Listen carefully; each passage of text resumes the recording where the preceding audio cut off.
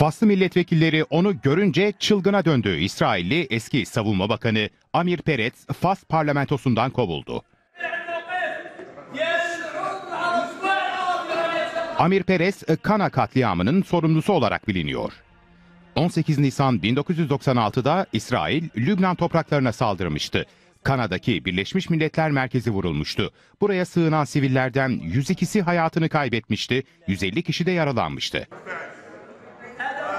Faslı milletvekilleri bu nedenle eski İsrailli bakana öfkeliydi. İlişkileri normalleştirmek için Fas'a giden heyetin başındaki isim büyük tepki gördü. Milletvekilleri Amir Peres'ten derhal parlamentoyu ve ülkeyi terk etmesini istedi.